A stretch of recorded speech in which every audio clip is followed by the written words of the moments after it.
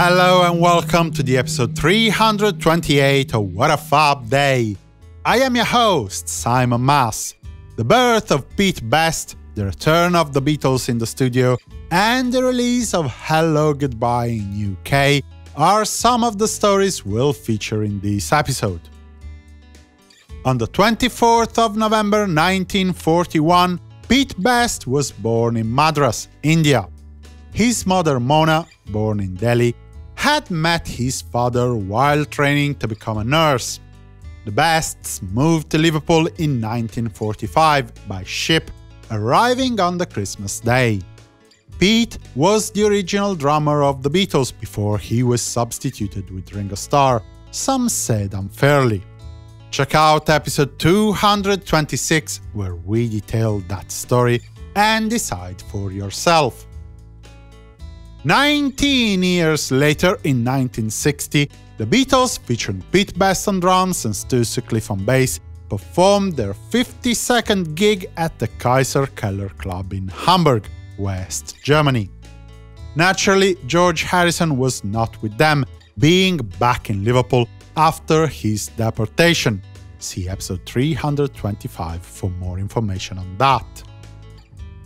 One year later, in 1961, George had reunited with the Beatles for a performance at the Casbah Coffee Club in Liverpool. The band was still a quartet, though, with Paul McCartney on bass.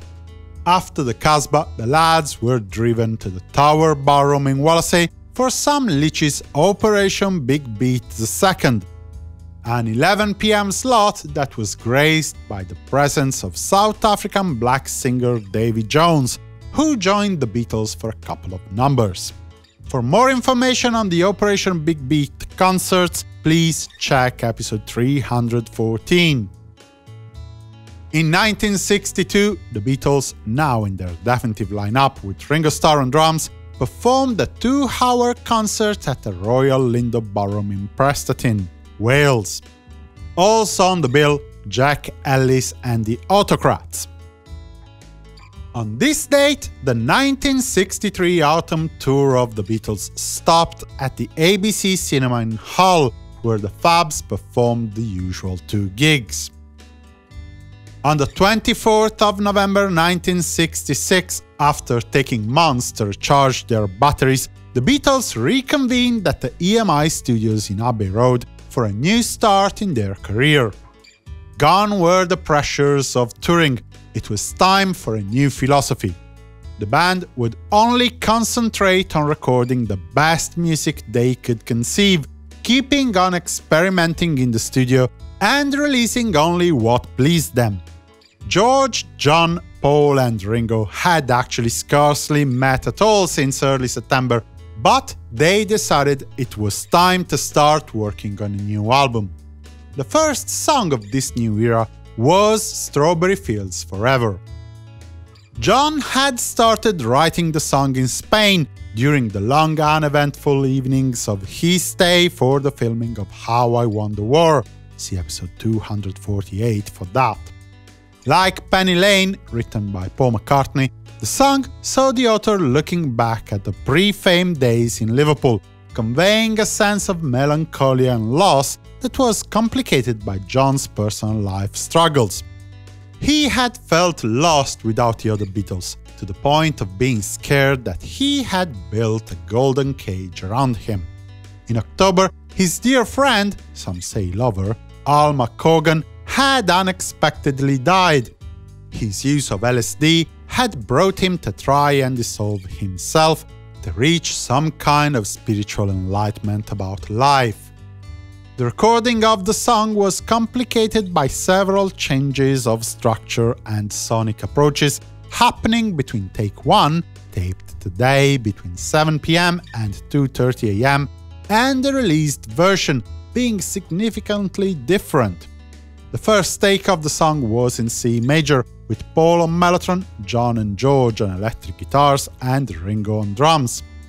After taping the rhythm track, the band proceeded with overdubs, voice, slide guitar, harmonies.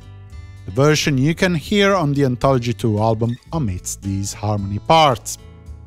This version of the podcast instead omits several stories and curiosities that you can find in its deluxe version, available as a series of limited NFTs.